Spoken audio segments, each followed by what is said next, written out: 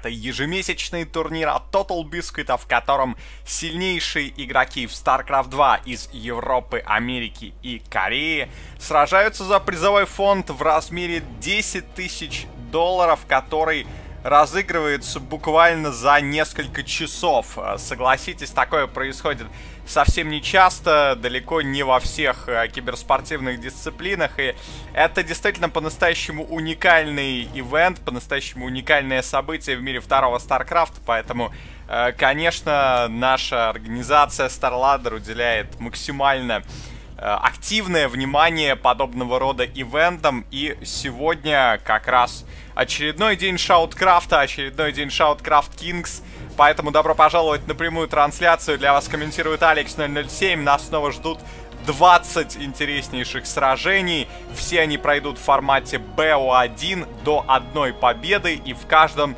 действующий царь горы будет играть с претендентом. В роли действующего царя горы к этому ивенту подходит Протос Тингниб, появившийся в левом верхнем углу. Игрок, который, э, собственно, заканчивал еще позапрошлый августовский шауткрафт на поражении Блаю. Но затем в сентябрьском шауткрафте Ниб вернулся в самом конце турнира и одержал три победы подряд. Поэтому его текущая серия это три победы, и именно их мы ставим Нибу в левом нижнем углу э, в нашей таблице счета. Э, его соперник претендент Liquid Uthermal я думаю, тоже отлично известный вам игрок, Теран из Нидерландов, э, возможно, сильнейший европейский Теран, игрок, который уже очень скоро выступит на европейском финале World Electronic Sports Games, и мне кажется, что сегодняшний матч может стать для него хорошей проверкой. Так что, действительно, посмотрим, как э, будут играть друг с другом у Термал и Ниба сейчас, но э, для Ниба в принципе, никакого давления сейчас, я думаю, нет. Он уже довольно много успел выигрывать на Craft Kings. Никто не сомневается в его высоком уровне, никто не сомневается в его э, великолепной форме. И поэтому, конечно же, Нип просто попытается, э, ну, я не знаю, получить э, максимум денег, наверное, да, надо так сказать. Э, заработать максимум денег при помощи Shout Craft Kings сегодня и, собственно, в свое удовольствие поиграть в хороший StarCraft. Э, что же касается его соперника, то у Термалу есть что доказывать, и при этом ему, конечно, очень желательно не показать там все свои заготовки перед грядущим э, финалом ВСГ. Там очень непросто будет у Термалу. Очень много, прежде всего, зергов там, но в целом очень много опасных соперников. И, конечно, у Термал достаточно серьезно рассчитывает на хороший результат на европейских финалах ВСГ, как минимум на топ-12, которые позволят ему пройти в глобальные финалы, финалы года. Так что uThermal, возможно, будет на каком-то этапе беречь интересные стратегии заготовки под новый патч, но, естественно, против Ниба uThermal может попробовать Э, вначале придумать какой-то интересный build. Вот сейчас мы видим его build order. Это drop 6 мариков и мины в медиваке. И, судя по всему, параллельный проезд двумя гелионами, потому что вот появляется второй гелион. В чем слабость этого build order а? В том, что вот сейчас, например, у Терана вообще больше нет никаких юнитов на карте. Если условно в этот момент на мейн прилетает Оракул, то у Термал заканчивается. Но, собственно, Оракул пока никуда не прилетает. Нибот играл стартовой партии через Nexus до гейта, поэтому у него э, очень э, неплохо сейчас все с точки зрения экономики. И мы видим Shield Battery в таких очень интересных местах стоят, как бы эта батарейка не мешала добывать газ. Но дальше Thermal пока лезть не готов.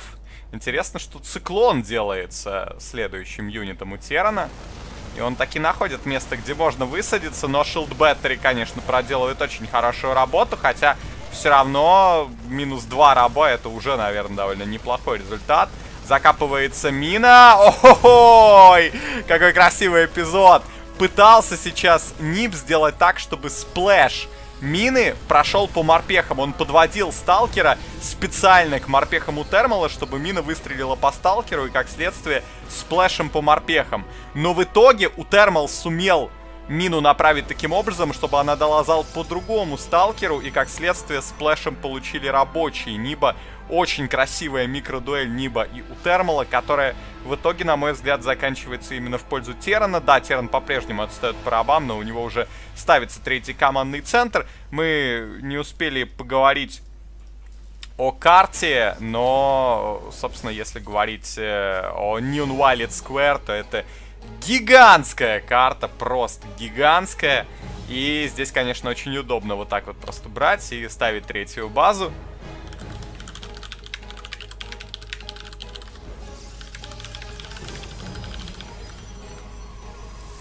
Роботикс уже готов у Ниба, а дальше он будет переходить либо в Колоссов, либо в Дисрапторов, которые против пехотного Терна тоже могут быть э, довольно интересным оружием.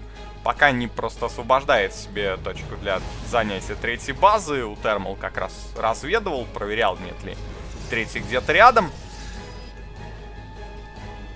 плюс 2 Nexus при этом ставится у Ниба, так что он не только третью, но и четвертую берет. Вот у Термал эту базу не берет, в чем ее преимущества и недостатки. Ну, преимущество очевидно, база очень хорошо защищена. Вот, кстати, Нип сюда переводил рабов, и видите, они напоролись на мину, минус 6 рабочих для Протоса.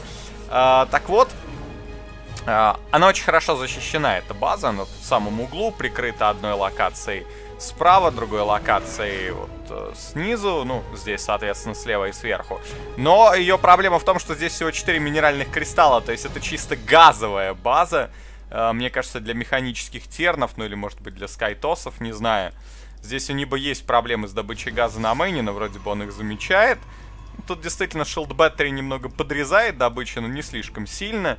И Нип продолжает клепать свое ужасно заскинованное войско в табличке Production я не буду ориентироваться совершенно, как в табличке юнитов. Я не знаю, что вот это вот все.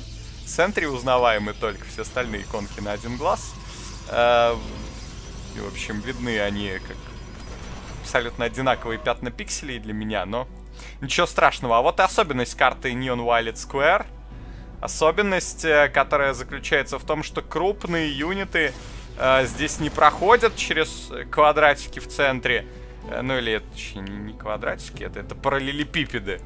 Это сверху они для нас выглядят как квадратики, а так полноценные параллелепипеды, которые мешают проходить э, кому? Тором, Ультралиском, Архоном, Колоссом.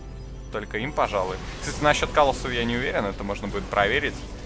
Но в любом случае даже мелкие юниты тут э, с легкими проблемами проходят. Тут посмотрите, что происходит. Просто один циклон один циклон на четвертую книгу приехал и очень круто навоевал. 9 килсов. Прекрасная работа от uThermal а, который, ну, на мой взгляд, может получить сейчас легкое преимущество. Все-таки у Ниба 4 Нексуса, ему нужно продолжать строить рабов, хотя на практике ему бы уже наверняка хотелось бы переходить к полноценному производству армии. Warp gate ов всего два до сих пор было у Ниба только сейчас вот у него раскрывается третий, четвертый, пятый. При этом нет э, никаких контратак, нет никакой варпризмы, так что э, глухо оборонительную позицию занимает Протос, и это позволяет, например, позволяет вот так вот Терну брать и нагло ставить четвертую базу. Опять же, базу внутри пока у Термал просто игнорирует. Сейчас у него доделается уже плюс один на армор пехоте. Дальше с двух старпортов клепаются викинги, так что будет готов очень серьезный антиколоссовый состав армии. Здесь uThermal не очень удачно дерется. Высадил он мину, Ниб красиво с ней разбирается. uThermal очень здорово на multitask е-то сейчас. Смотрите, как разводит. Здесь минка. Вообще по четырем фронтам получается. Здесь double drop. Здесь мина, здесь мина. И здесь еще одно войско готовится нападать. Скан и просто фокус Нексуса, но это не сработает. Тут два колосса рядом. Есть, правда, еще пара минок. И ой, как здорово Ниб с этими минками справился, но все равно потерял Нексус. Красиво все сделал вроде бы Ниб в этой ситуации. То есть он прыгнул сталкерами таким образом, чтобы э, быстрее принять на себя урон. Еще и одним сталкером подошел вплотную к группе пехоты, чтобы мина дала splash по пехотинцам. И все это у Ниба, в принципе, сработало, но uThermal решил суициднуться в Nexus, и ему удалось этот Nexus забрать, поэтому у Ниба сейчас и supply блок, и по добыче в целом дела идут довольно плохо. У Термала уже во все делается плюс один на воздушную атаку, делается плюс два на атаку э, пехотному войску. Викинги пытаются найти какую-то призму, но призмы нигде нет.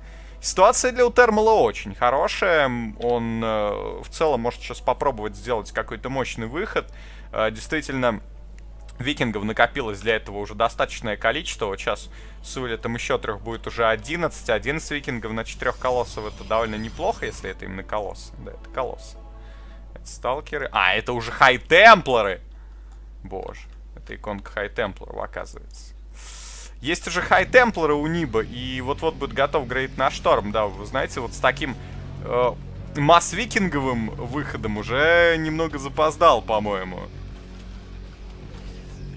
Теран, ему уже нужно как-то гостов готовить, да, ему уже нужно переходить э, в какой-то другой состав армии.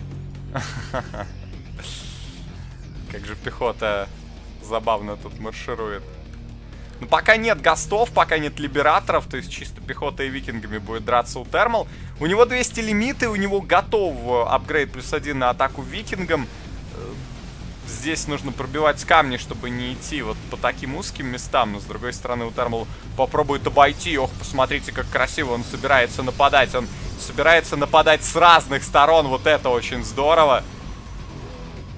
Конечно, окружить соперника он не может, но вы знаете, у Ниба тут все равно хорошая позиция. Да, он вот так зажаться может, конечно. Ниб очень умен. Делаются у него сейчас грейды 2-2, но я не думаю, что здесь реально пробить э, Ниба. Но посмотрим, у Термал идет вперед. Штормятся викинги, а не пехотинцы пока, но и пехота получает очень жесткие штормы. Ой, как же тут Ниб с пехотой разбирается. Это сражение, которое просто выигрывает в хлам. GG мгновенно пишет у Термал, сразу же признает свое поражение, не видит ни малейших опций для продолжения игры, и, скорее всего, он прав, потому что дальше э, мгновенная контратака от Ниба готова будет похоронить позиции и надежды Терна из Нидерландов. GG, и это четвертая подряд победа для Ниба на Шауткрафт Кингс и первая на сегодня, так что